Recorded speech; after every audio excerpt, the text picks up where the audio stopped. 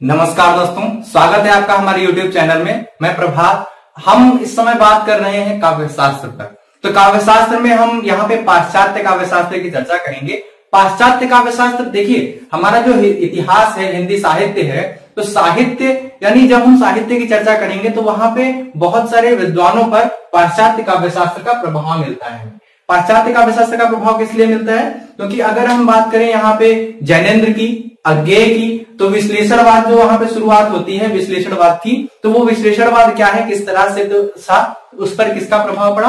पाश्चात्य काव्यशास्त्र का। तो हमारा जो साहित्य है, वहाँ पे भारतीय काव्यशास्त्र या उसके अंगों की चर्चा तो की ही गई काव्य लक्षणों की चर्चा की गई। उसके साथ साथ में और भी जो चर्चा मिलती है, वो हमें पाश्चात्य काव्य शास्त्र की मिलती है। तो हमें उसका एक संक्षिप्त ज्ञान यहाँ पे होना चाहिए हमारे साहित्य को पढ़ने के लिए और जानने के लिए। तो पाश्चात्य शास्त्र में हम सबसे पहले बात करते हैं एक दार्शनिक की, जिसका नाम था सुकरात। जिसका नाम था सुकरात।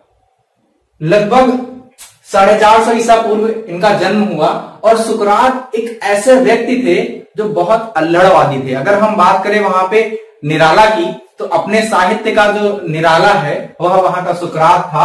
और सुकरात इस प्रकार के दार्शनिक थे कि वह वहाँ के लोगों को शिक्षा और ज्ञान की बातें बताते थे और जो भी उनके मानक के अंतर्गत आता था। उसी को वह अपने मानकों में स्वीकार करते थे, जो उनके मानक की परिधि के अंतर्गत नहीं आता था वे उसे निष्कासित निष्कासित कर देते हैं। सुकरात के ही शिष्य का नाम था प्लेटो। सुकरात के ही शिष्य का नाम था प्लेटो। अगर हम बात करें सुकरात के शिष्य की, प्लेटो की तो प्लेटो का समय क्या है? 427 से 427 ईसा पूर्व, यानी बीसी से और तीन सौ सैतालीस बीसी तक। तो ये ईसा पूर्व तक इसका समय रहा। इसी में अगर हम बात करें तो इनके प्लेटो का भी एक शिष्य आता है, जिसका नाम था अरस्तु। क्या नाम था? अरस्तु। यानी अरस्तु के गुरु का नाम था प्लेटो। तो यहाँ पे हम सबसे पहले किनकी चर्चा करेंगे? प्लेटो की। क्योंकि काव्य के सिद्धांत के रूप में अगर कुछ मिला हमें सबसे पहले तो वहाँ पे हम बात करेंगे प्लेटो की। प्लेटो के अलावा अगर हम बात करें यहाँ पे थोड़ा सा संक्षिप्त ज्ञान हम आपको यह भी दे देते हैं कि प्लेटो के पूर्व में कौन कौन से लोग आए। देखिए, प्लेटो के पूर्व में तीन सिद्धांत प्रतिपादित हो चुके थे। अगर हम प्लेटो प्लेटो से पूर्व की बात करें तो प्लेटो के पूर्व में तीन सिद्धांत प्रतिपादित हो चुके थे। सबसे पहला, प्रेरणा। प्रेरणा का सिद्धांत। दूसरा था अनुकरण का सिद्धांत। और तीसरा था विरेचन का सिद्धांत। प्रेरणा, अनुकरण और विरेचन, ये तीनों सिद्धांतों का जन्म हो चुका था, जो प्लेटो के पूर्व था। अगर हम प्लेटो के पूर्व की बात करें तो वहाँ पे कुछ विद्वानों के नाम आते हैं, जिसमें आता है नाम होमर, हेसियाड जैसे कुछ विद्वानों का नाम आता है, जिसमें वहाँ पे उनकी चर्चा की जाती है। तो इन्हीं के द्वारा कुछ सिद्धांत पहले से प्रतिपादित हो चुके थे। प्लेटो ने क्या किया? यहाँ पे एक अनुकरण का सिद्धांत प्रतिपादित किया, क्योंकि उस समय वहाँ पे एथेंस की स्थिति बहुत दयनीय थी। उस स्थिति के रहते और सुकरात को जो मृत्युदंड मिल गया था, उन सारी चीज़ों ने प्लेटो के दिमाग को बहुत झकझोर दिया और उसी के माध्यम से एक दार्शनिक जन्म लेता है। प्लेटो का जन्म हमने आपको बताया, प्लेटो का जन्म हुआ था चार सौ सत्ताईस ईसा पूर्व से तीन में उनकी मृत्यु हुई। और तीन में ही अरस्तु को यह लगा कि प्लेटो की गद्दी उनको मिलने वाली है, परंतु वह ऐसा नहीं संभव हुआ और वह वहाँ से, वह जगह छोड़ करके उनको वहाँ से जाना पड़ा। अब हम बात करेंगे प्लेटो की सिद्धांत की। सिद्धांत कौन सा है? अनुकरण का सिद्धांत। जैसा कि हमने आपको यहाँ पे बताया हुआ है, प्लेटो का सिद्धांत था, अनुकरण का सिद्धांत। अनुकरण के सिद्धांत में उन्होंने चर्चा की। अनुकरण क्या है, इसकी हम यहाँ पे चर्चा करते हैं, आपको बताते हैं।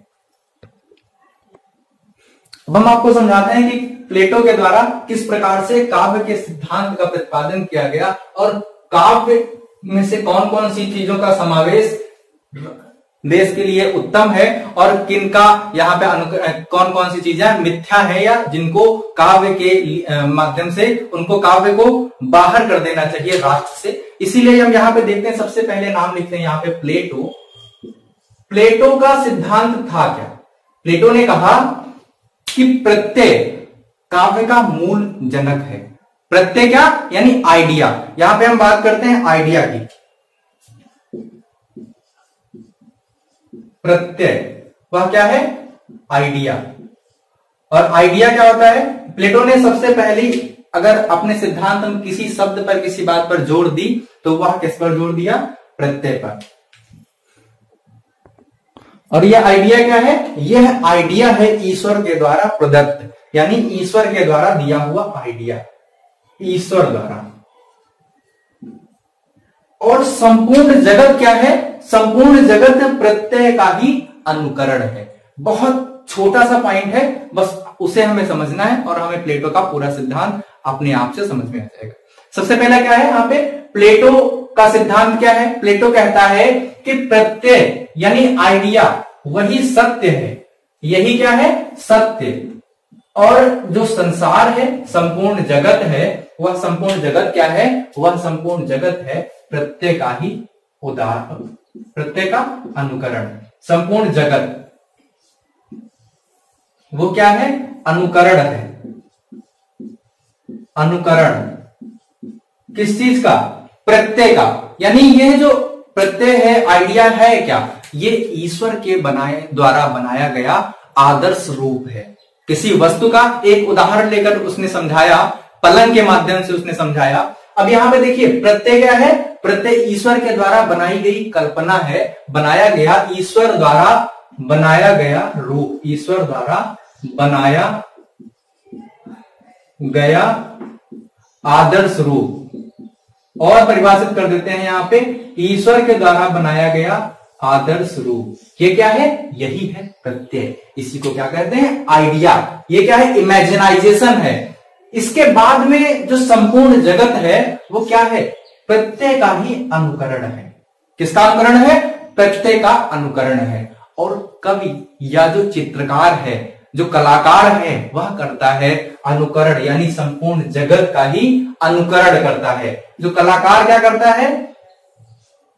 जो कलाकार है तीसरी स्थिति में, वो क्या करता है? अनुकरण का ही अनुकरण करता है। यानी क्या हो जाएगा यहाँ पे? अनुकरण का अनुकरण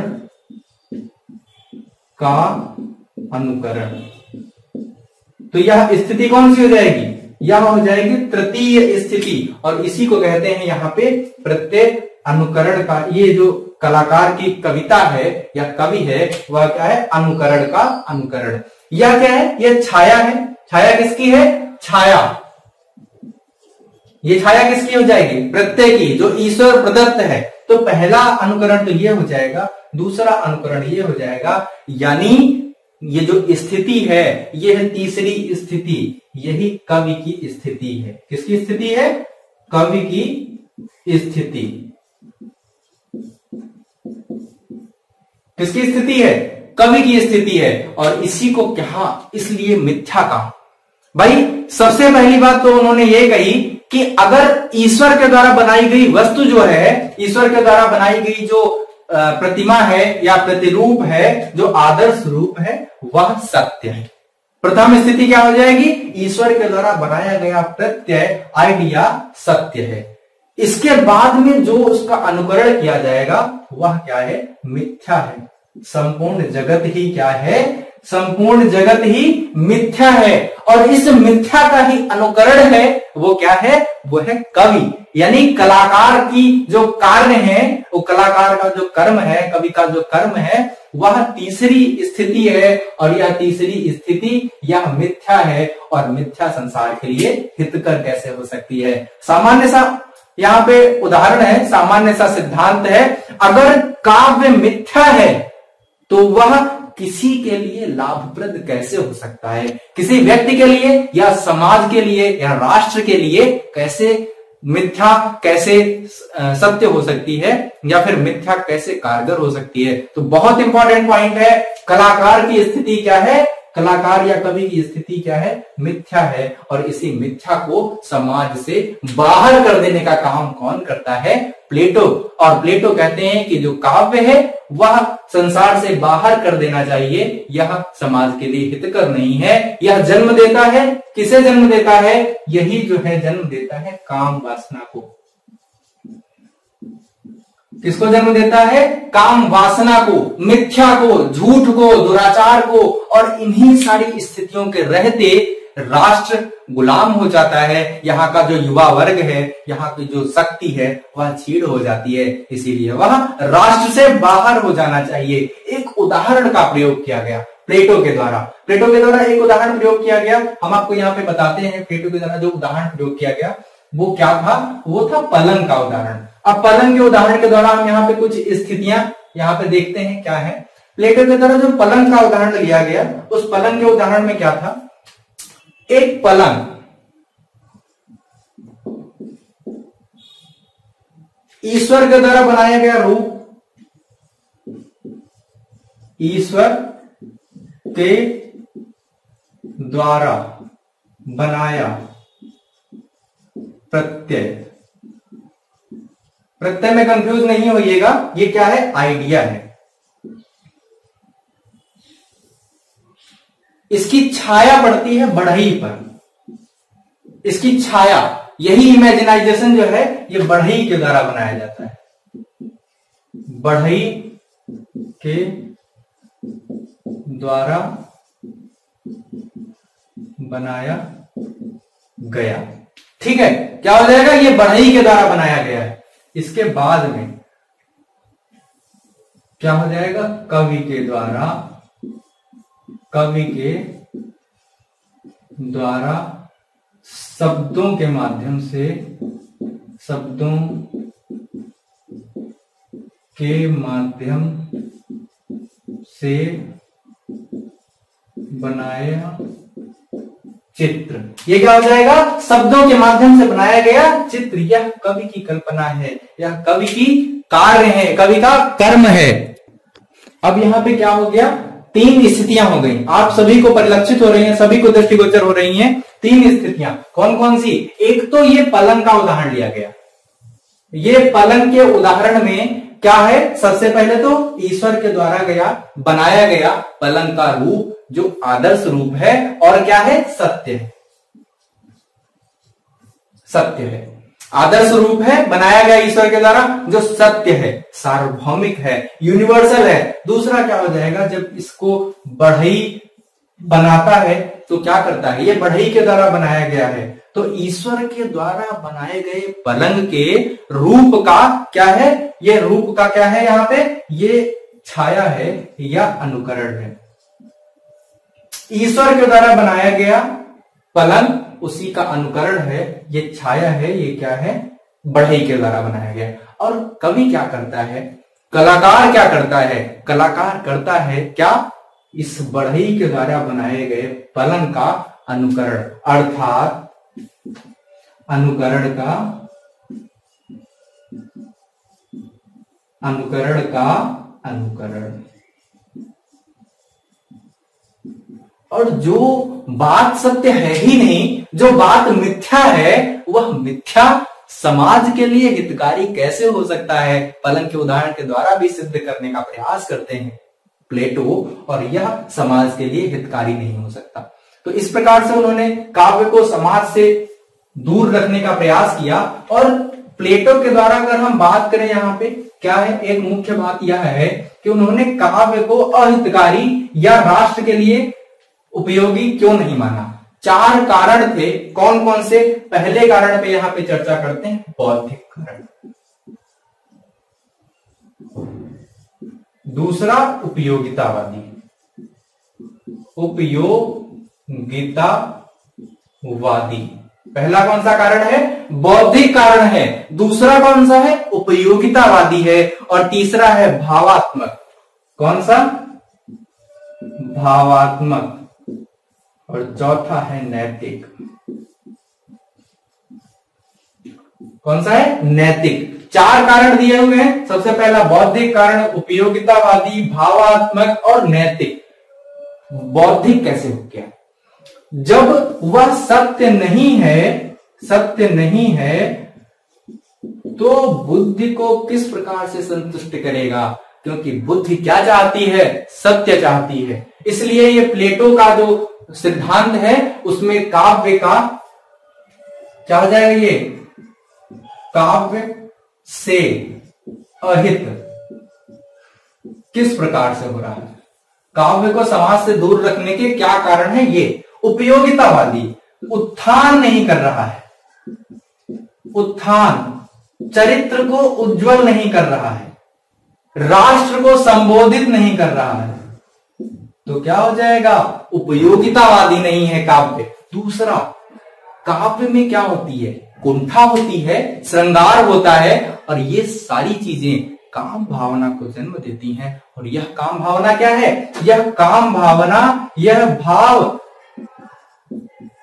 यह भाव समाज को दूषित करता है और इस दूषित होने के कारण वह भावात्मक है, इसलिए काव्य समाज के लिए हितकारी नहीं है, नैतिक वचनों से युक्त नहीं है, नैतिकता नहीं है, इसलिए क्या हो जाएगा? यह प्लेटो का जो सिद्धांत है, वो किस प्रकार से हो जाएगा? उन्होंने कहा कि काव्य को समाज से बहिष्कृत कर देना चाहिए।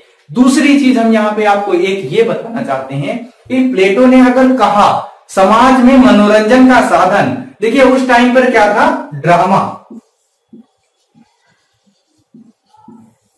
जो ड्रामा खेला जा रहा था वहाँ पे, लगभग लगभग बीस बीस हज़ार लोग वहाँ पे कुछ ऐसे ड्रामाज थे जिनको देखने के लिए उपस्थित होते थे।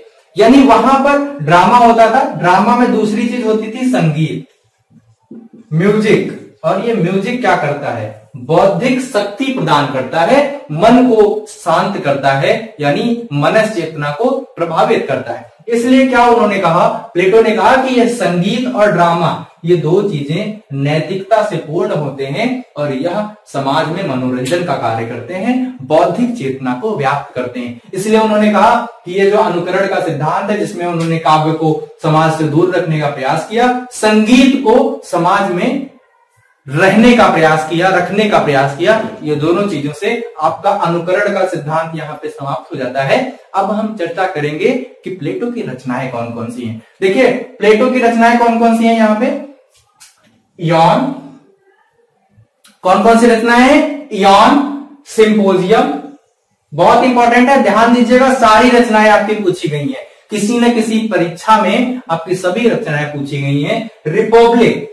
The Republic. कौन सी रचना? The Republic. मैंने कोशिश की यहाँ पे अंग्रेज़ी में लिखने की, क्योंकि यहाँ से उच्चारण अच्छे से हो सकता है, इसलिए मैंने कोशिश यही की है।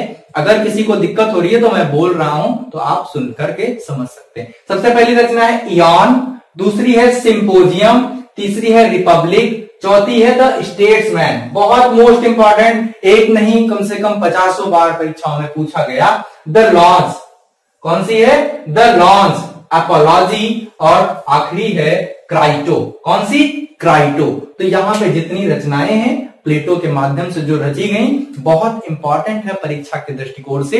और आपको मैंने यहाँ पे सभी चीज़ें अच्छे से बताई। आप हमको ज़रूर बताइए कि आपको हमारा वीडियो कैसा लग रहा है। अगर आपको अच्छा लग रहा है तो फटाफट जाकर के सब्सक्राइब बटन क्लिक करिए बेल आइकन प्रेस करिए और हमारे द्वारा दिए गए वीडियोस का नोटिफिकेशन प्राप्त करिए।